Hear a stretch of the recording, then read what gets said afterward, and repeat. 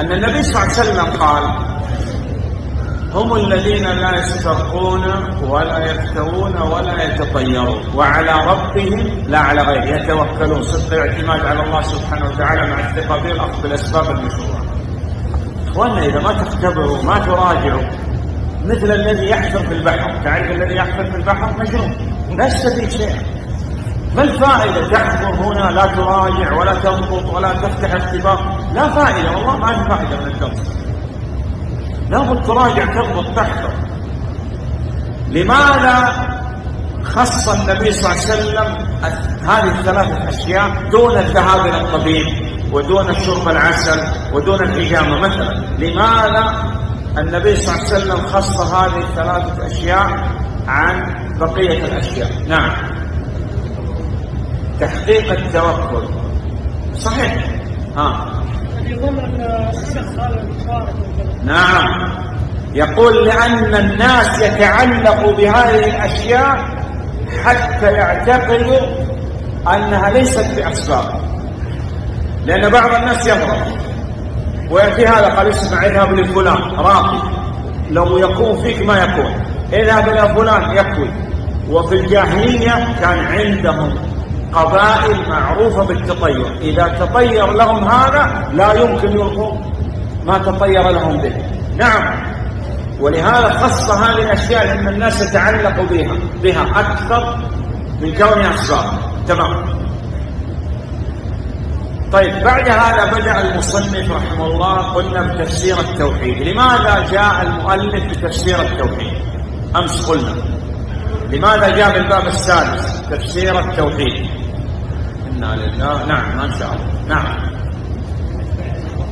بعد أن ذكر لك وجوب التوحيد وتشوقت إليه ولا بد من تحقيقه والخوف من ضده والدعوة إليه الآن بدأ في الكتاب. وقلنا هذه كالمقدمة لكتاب التوحيد. الآن بدأ يشرح لك التوحيد من هذا الباب إلى إلى نهاية الكتاب لأنه قال في المسائل وشرح هذه الترجمة ما بعدها من الأبواب تمام؟ إذا نحن الآن الله يرضى عنك شيل التليفون هذا. ارفع ارفع. ضعه في جيبك. وضع الطيران نعم. تفسير التوحيد في هذا الباب المؤلف رحمه الله فسر التوحيد بضد وبضدها تتبين الأشياء. ما هو العلم؟ تقول ضد الجهل. القيام ضد القعود. صحيح؟ الظلمات والنور. بضدها تتبين الأشياء. ذكر الشرك في الدعاء وتقدم معنا أن الدعاء ينقسم إلى قسمين. دعاء عبادة ودعاء مسألة. دعاء العبادة صرف لغير الله شرك أكبر. صلى صام حج لغير الله. دعاء المسألة ينقسم إلى قسمين. فيما لا يقدر عليه الله صرف لغير الله شرك أكبر. فيما يقدر عليه المخلوق يصح بشروط أربعة حي وحاضر وقادر وتعتقد أنه سبب. الشرك في الدعاء. ثم ذكر الشرك في ماذا؟ من يعرف بعد الشرك في الدعاء ذكر الشرك إيش ها. في المحبة. ومن الناس من يتخذ من الناس يعني بعض الناس من يتخذ من دون الله أندادا. شبهاء ونظراء ومثلا يصرفون لهم ما لا يصرف إلا لله. المحبة تنقسم إلى ثلاثة أقسام. الأول محبة مع الله شرك أكبر. يحب الله سبحانه وتعالى ولا يحب أحد مع الله. القسم الثاني من المحبة محبة واجبة. القسم الأول محبة مع الله شرك أكبر.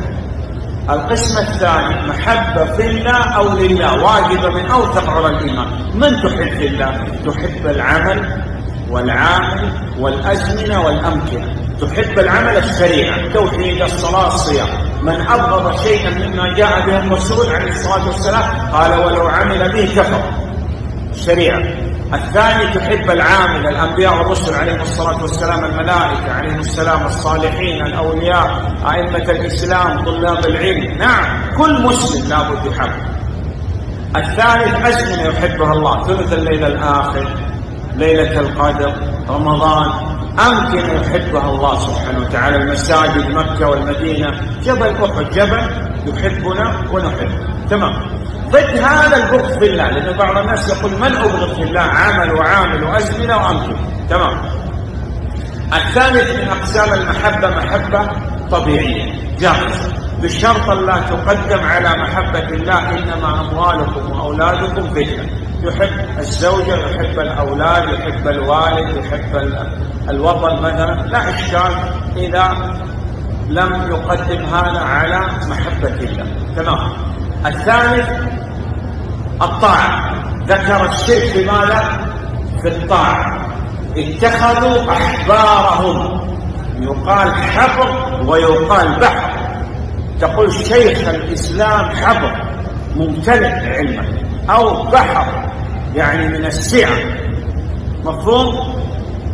أحبارهم يعني علماءهم ورهبانهم يعني عبادا أربابا يعني قدموا طاعة هؤلاء على طاعة الله لا طاعة لمخلوق في معصية الخالق. شرك في ماذا؟